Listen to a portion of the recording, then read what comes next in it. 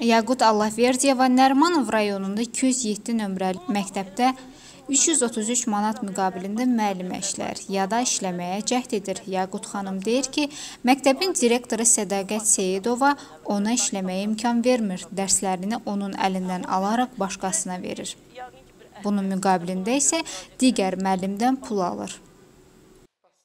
Mən 1993-cü ilin martın 1-dən martın 1-dən Nərmanov rayon 207 saylı orta məktəbdə çalışıram. Məktəb rəhbərliyi hüquqlarımızı pozur, dərs bölgüsündə heç bir bərabərliyə üstünlük vermir, əksinə aşağı səviyyədə tutur. Çünki 2 il bundan əvvəl 2 il bundan əvvəl biz öz haqqımı tələb elədiyimə görə dərs bölgüsü olmuşdu. Oktyabrın 23-nə qədər dərs sentyabrın 15-dən dərs başlayır.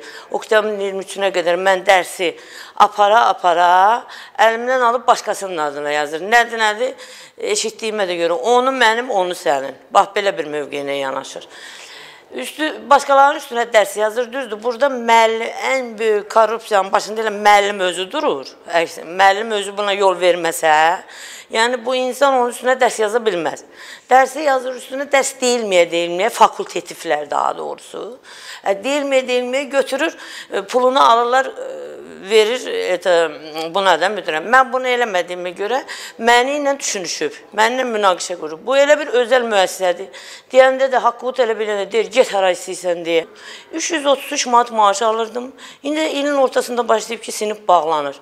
Buna da tərəqqi medalı ilə təltif olunub bu insan. Hansı əməllərinə görə bu insan tərəqqi medalı ilə təltif olunub? Mənə çatmır. Məktəbə axın yoxdur. Uşaqlar əksərən məktəb boşalır, siniflər bağlanır. Bunun özü elə bir sübutdur da. Direktor yaxşı yaxşı rəhbərin müəssisəsinə axın olar əksinə. Bunda əksinə məktəbə axın yoxdur. Demək siniflər bağlanır. Nəyə görə? Buna sual olunsun ki, nəyə görə bu siniflər bağlanır? Uşaqlar nəyə görə burdan qaçıb gedirlər?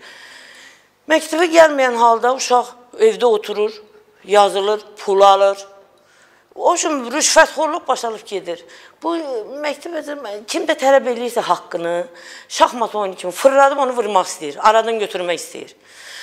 Mən mənə çatmır ki, bu bura özəl müəssisədir, bura bazardır, bura ticarət mərkəzidir, yoxsa təhsil müəssisəsidir. Bax bunu bilmək istəyərdim.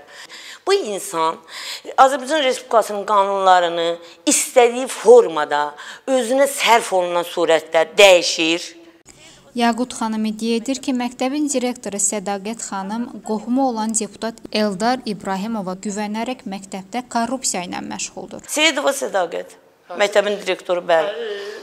Arxasında deputat qohumu durur. Kimdir deputatı? Əşəyi nəysə də. Ya deputat qohumun adını deyin. İbrahimov Eldar. Sonda onda xatırladaq ki, qarşı tərəfin mövqeyini işıqlandırmağa hazırıq.